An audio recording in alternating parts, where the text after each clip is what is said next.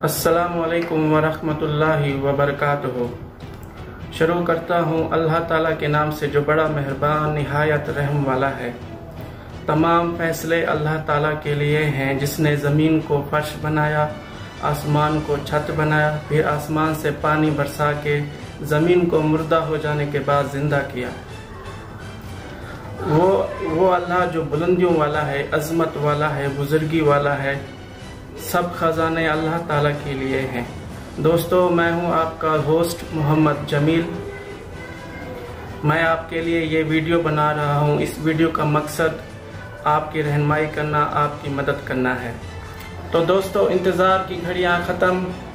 अभी हम लोगों के पास पीआईए की तरफ़ से इंफॉर्मेशन आई है अपडेट आई है।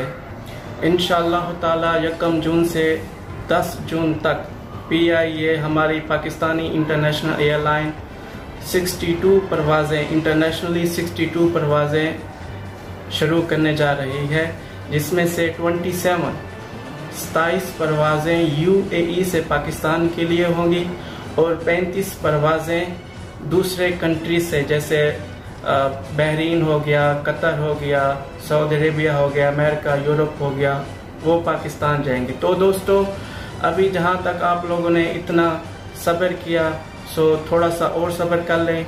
इन यकम जून से 10 जून तक 62 परवाज़ें, जिनमें से सताईस परवाज़ें यूएई से पाकिस्तान के लिए हैं, जिसमें हमारे जो इंटरनेशनल एयरपोर्ट्स हैं, मुल्तान हो गया, फैसलाबाद हो गया, लाहौर हो गया, कराची हो गया, उनके लिए परवाज़ें चलेंगी। इन आप लोग, आप दोस्त हमारे प्यारे वतन, हमारे प्यारे मुल्क पाकिस्तान में आएँगे, अपने फैमिली के साथ, अपने बच्चों के साथ खुशियाँ मनाएँगे। तो मेरे दोस्तों, आप लोगों ने हिम्मत नहीं हारनी। जहाँ तक आप लोगों ने इतना सब्र किया थोड़ा सा और सब्र करें इन अभी 27 जो परवाज़ें हैं, उनमें एमरेट्स भी होगी फ्लाई दुबई भी होगी और एयर अरेबिया होगी। तो इन ताला, आप जल्द अपने मुल्क, अपने वतन, अपने हम वतनों के साथ होंगे।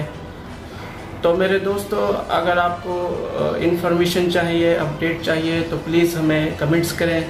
हम, हमारे पास जो भी नई अपडेट्स होंगी, आपको इन आप तक डिलीवर करेंगे।